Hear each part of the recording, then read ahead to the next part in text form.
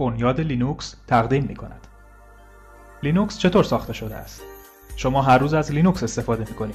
اما این رو می‌دونید که بیش از 850 هزار تلفن هوشمند آندرویدی که بر پایه لینوکس است به ازای هر روز فعالسازی میگردد مقایسه کنید با فقط 30 هزار ویندوز فون در روز این به این معناست که فقط از زمانی که شروع به تماشای این ویدیو کرده اید 100 وسیله آندرویدی آنلاین می شود به تازگی 700 هزار تلویزیون هوشمند در روز فروخته می شود که بیشترشان بر پایه لینوکسند 8 تا از 10 معاملات مالی و تجاری از لینوکس قدرت می گیرند 9 تا از 10 ابررایانه دنیا بر پایه لینوکس گوگل، توییتر، فیسبوک و آمازون همه از لینوکس نیرو می‌گیرند.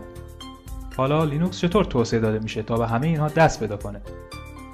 برخلاف سیستم عاملهایی چون ویندوز و آی لینوکس به صورت مشارکتی توسط شرکت ها مناطق جغرافیایی مختلف و بازارها توسعه داده میشه و حاصل اون بزرگترین پروژه توسعه مشارکتی در طول تاریخ کامپیوتره. فقط از سال 2005 8000 توسعه دهنده از تقریبا 800 شرکت مختلف در توسعه و گسترش kernel لینوکس کمک کردند. حاصل این کمک ها 15 میلیون خط کده.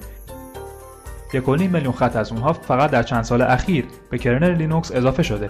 در نظر داشته باشید کتاب ایلیاد و اودیسه هومر شامل 15 هزار خط متنه و جنگ و صلح تولستوی شامل 560 هزار کلمه است. این نه تنها درباره تعداد مطلق خطوط کدها بلکه درباره اینکه چطور لینوکس به سرعت توسعه و انتشار پیدا می‌کنه نیز هست.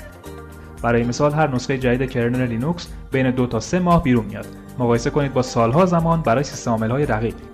این به وسیله یک فرایند توسعه مشارکتی بی‌نظیر امکان پذیره. توسعه دهندگان تغییرات رو به واحدهای مجزایی که patch نامیده میشه میشکنند یک patch تشریحگر تغییرات اضافه شدن و یا حذف کدها از کد منبع.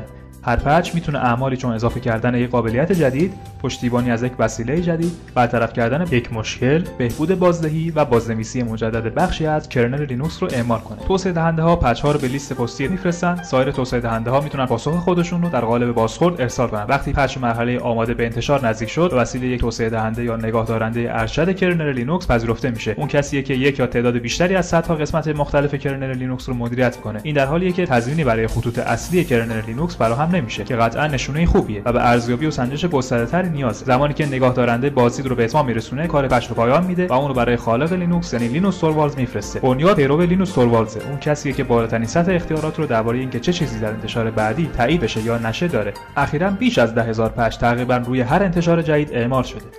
و هر ساعت 6 patch به kernel لینوکس اعمال میشه. نرخ توسعه لینوکس بی همتاست.